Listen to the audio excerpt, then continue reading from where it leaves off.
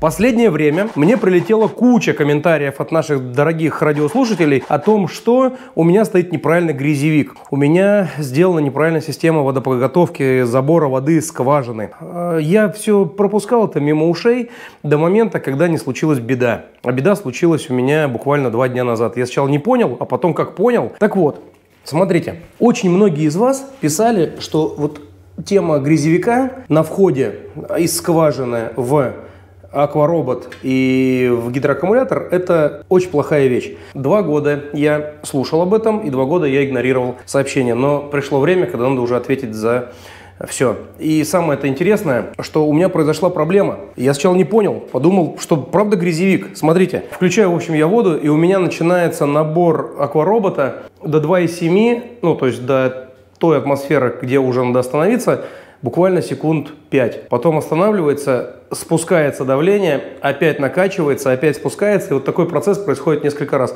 Это что-то непонятное поначалу. Но я подумал, а вдруг грязевик, правда, вдруг его забило и начинается вот такая беда. В данном случае я думаю, что проблема в гидроаккумуляторе. Скорее всего, порвалась мембрана. Но для того, чтобы вы понимали, что случилось именно, я вам покажу. Сейчас включаю воду холодную. Давление падает. Все, пошла накачка. И смотрите, накачка проходит очень быстро. Вот она сейчас наберет 2,8. И теперь я только включаю воду, и она падает. Смотрите, как быстро. Так падать не должна. То есть буквально вот. И все. И опять начинается набор. Который, кстати, набирается буквально там секунды. Такого быть не может. Видите? То есть по факту, если я сейчас включаю воду даже на мелкую, у меня вот эти наборы сброса, наборы сброса происходят прям с очень регулярностью большой. И я понимаю, что 100% проблемы в гидроаккумуляторе. Но чтобы свои слова еще подтвердить, смотрите, если там сейчас вода, например, да, внутри, то, наверное, открыв мипель, у меня пойдет вода. Давайте-ка попробуем. Мне просто интересно. Ну. Опа. А тут вообще нет воздуха. А может быть просто мипель сдулся? Такое может быть?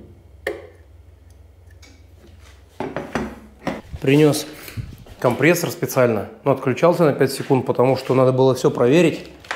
И оказалось, что когда я начал давать сюда давление, сразу же поднялся напор воды э, в системе. У меня сработал этот сбросник. Безопасность. Мне интересно, почему через мипель вода не идет только. Но я понимаю, что что-то с аккумулятором все-таки не в порядке, потому что ну, он бы как бы давление это принял бы. Так что, друзья, все-таки разбираем гидроаккумулятор и понимаем, что внутри происходит. А для этого мне понадобятся мои любимые наборы инструмента, ну, которые вы знаете. Деко. Живи легко. Ванька, привет. Это он придумал. Чем мне понравился? На колесах с ручкой. И это конкретно у меня их очень много. Но эта конкретная моделька у меня будет жить теперь в шкафу под полками. И в ней будет лежать только домашние принадлежности. Я не буду таскать это на улицу и марать и так далее. Чисто для дома. То есть набор отверток, набор плоскогубцев. Поэтому вот такую коробку взял и очень рад. Едем дальше. Моя задача слить с системы воду. Да ну, рано, стой. Не надо, не начинай. Блин, как не вовремя, а. Давайте мы просто сейчас ее отключим пока временно. Теперь по системе водоподготовочки. Из скважины поднимается грязная вода.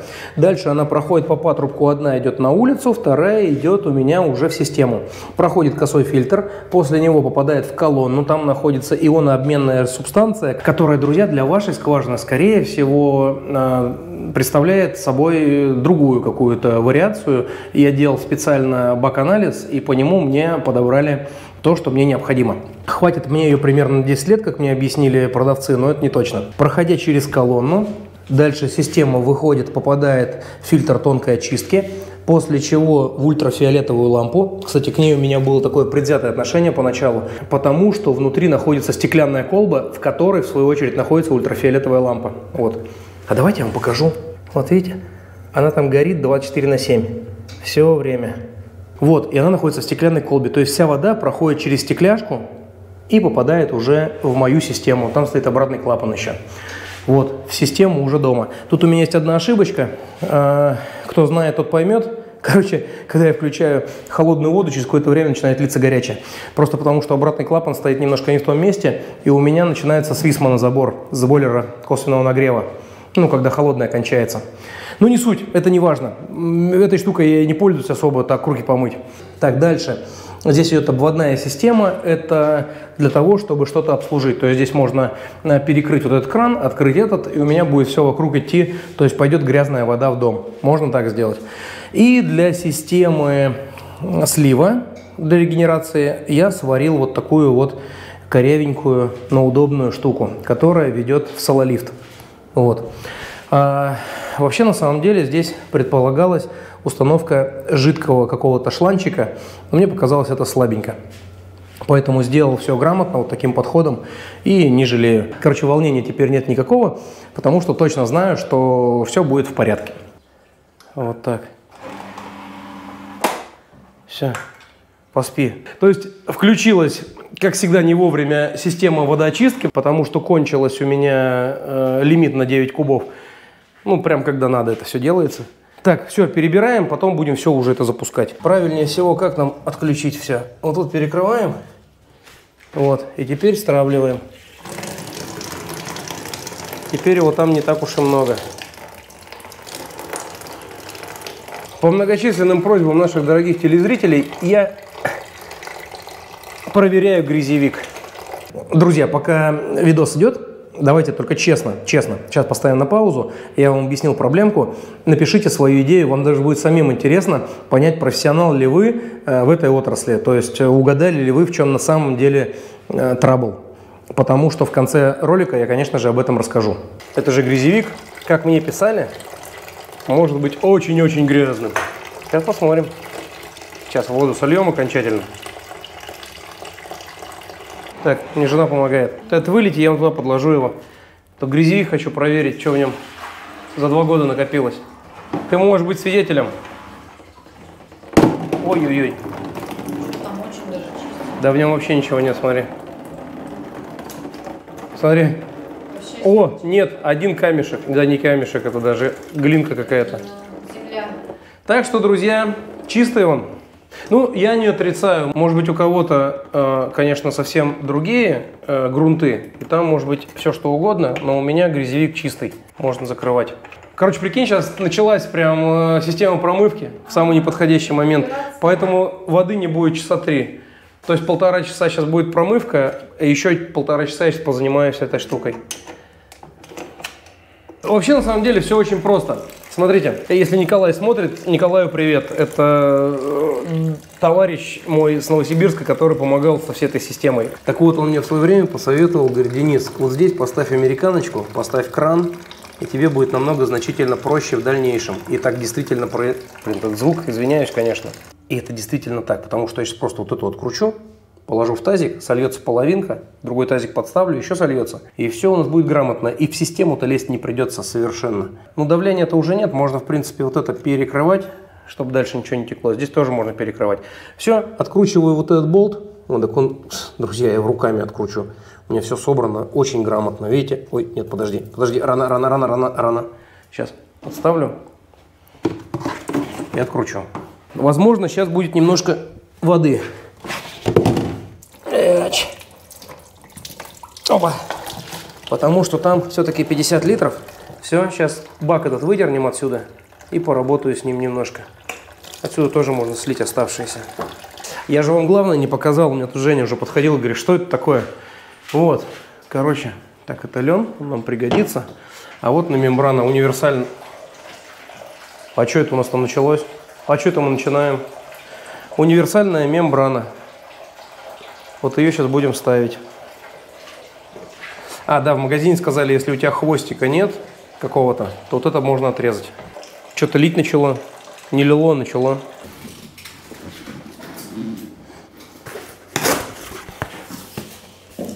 Угу. Берем.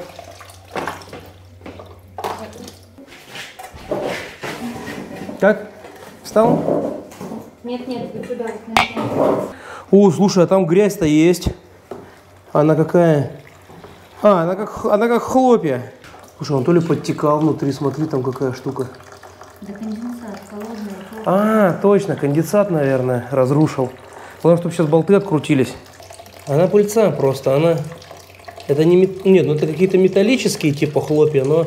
Смотрите, они легко раз... Ржа, ржа, короче, просто. Там надо все помыть, смотри. Мы же там два года вообще не прибирали. Я вот этот фильтр менял уже. Вот, тот смотрел грязевичок. Этот грязевик не смотрел, но он и чистый оказался. Кстати, интересно, если он чистый, то как он вот это пропустил? Что, тяжелое еще? Ну да, еще сливаться. Ну-ка, дай-ка я сейчас попробую давление дать, что будет. Мне интересно, что там творится внутри. Она...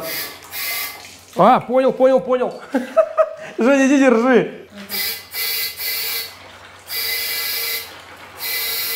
Денис, тут тазик не бесконечный. Так, сейчас солью. Что, успею слить? Ну давай быстрее. Давай, не, давай сюда. Переставляйся сюда. Зато пошло сразу, видишь, как хорошо. Дай еще поддам газку.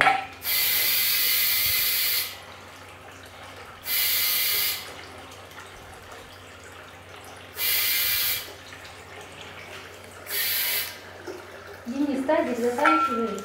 Ну, у нас сиреневый еще есть. Давай заберу. Сиреневый перекидывайся. Ну вот и все. Опа. Сейчас я еще дам давление и посмотрим, что произойдет. Пошло?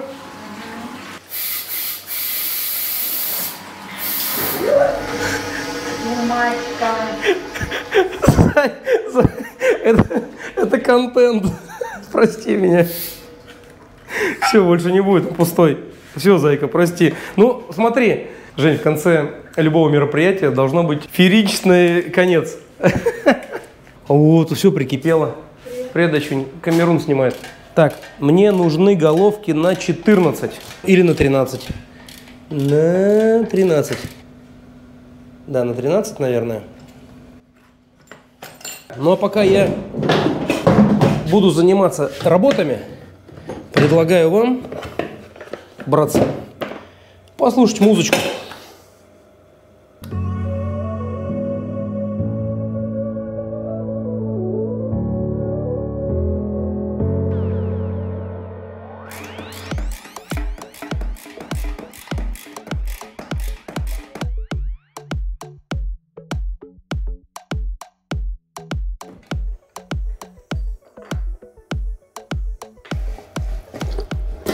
Так, а воды-то, блин, внутри-то и нет. Опа. А внутри бака-то, друзья, и не мокро. Не дырявый он, похоже. Но тогда почему не было давления? Сейчас будем понимать, что произошло. Да пока я ничего не понимаю. Может, я действительно сглупил, может, он просто сдулся на компрессии. Кстати, такое тоже может быть. Что представьте, если он просто сдулся, я дал туда давление, но не отключив. Короче, мой вердикт такой, зря я все это разбирал, видимо, потому что мембрана не дырявая, внутри бака воды нет. Скорее всего, просто сам мипель сдулся. Когда я начал давать давление компрессором, в этот момент системе поднялось давление, из-за этого сработал сбросник. Я напугался, и вот все наши процессы начались. Но я считаю, что это неплохо, потому что, как минимум, сейчас, ну, поменяю мембрану, буду уверен, а эту на запас положу, если вдруг у меня что-то срочное, я заменюсь. Сейчас накачаю эти две атмосферы сюда, в этот бак, и все. Короче, то, что мы сделали, неплохо, но можно было не делать. Да это правда, в гидроаккумуляторе испортится за два года мембране, мне кажется, такое себе. Не должно было это случиться. Ну, зато теперь вы знаете, как это выглядит. Сейчас главное, чтобы у нас заработало. Короче, скорее всего, скорее всего, это не точно, но мне кажется, что проблемы-то и не было. Нужно было просто подкачать сам резервуар, отключить полностью его от э, снабжения водой и накачать в него две, атмосферы. А я побоялся чего-то. Вот и моя проблема. Я сейчас либо вам подтверждение дам, либо какая-то проблема, которую я еще не знаю. Ну, кстати, то, что он сдулся, тоже какой-то непонятный момент. Значит, с мипелем по-хорошему.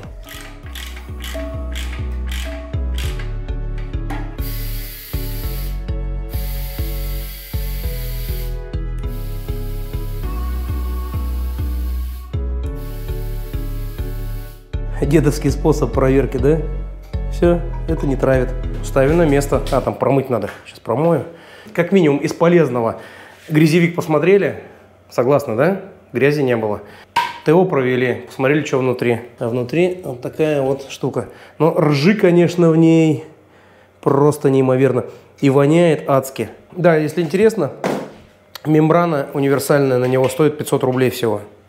Там 570, что-то такое. По-хорошему, может быть, конечно, надо еще и этот аппарат снять и посмотреть, что в нем творится, потому что у него там есть э, отверстие, через которое давление заходит, оно может забиться.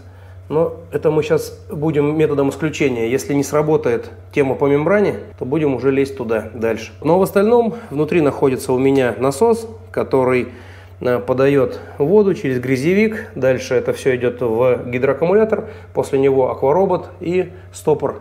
То есть, чтобы закрыть, чтобы систему не трогать. Дальше эта часть у меня идет как грязная вода.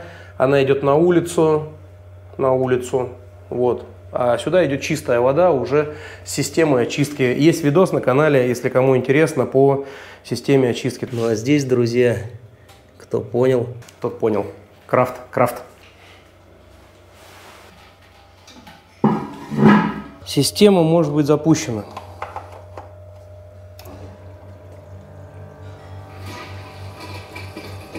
Так. И, наверное, можно открывать клапан.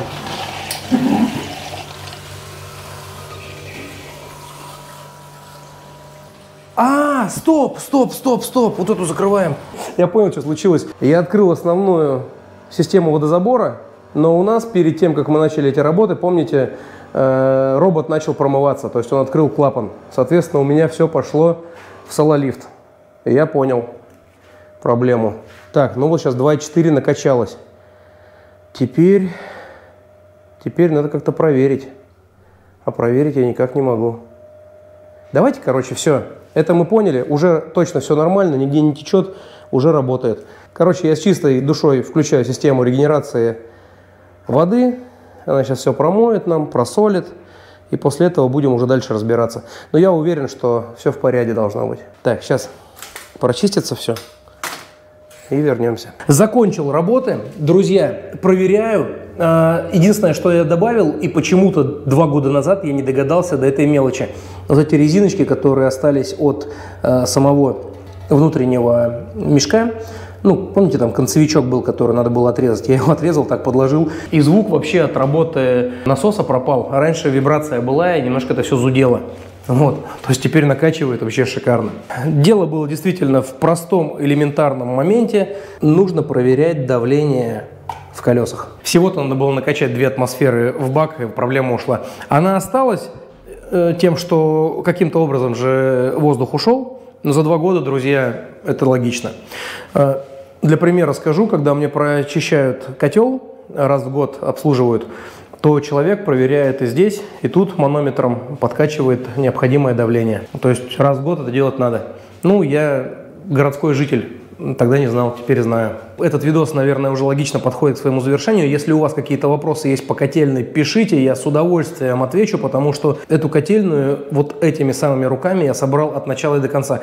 Конечно, скорее всего, ошибки есть, но меня инспектировали э, эксперты, ребята, которые поставляли мне оборудование, конечно же, я с ними советовался, и за весь монтаж вот этой котельной мне поставили твердую четверку с плюсом. Э, чем, конечно же, я горжусь, потому что по образованию я простой художник, друзья. У меня нет технического образования, я строю дом своими руками. И очень часто, когда мне в комментариях пишут, ты здесь не прав, я тут не прав, я самостройщик, братцы, я не эксперт, я не профессионал. Но годы, которые я потратил на свое увлечение, конечно же, сделали меня в чем-то профессионалом. Ну а я с вами сегодня прощаюсь.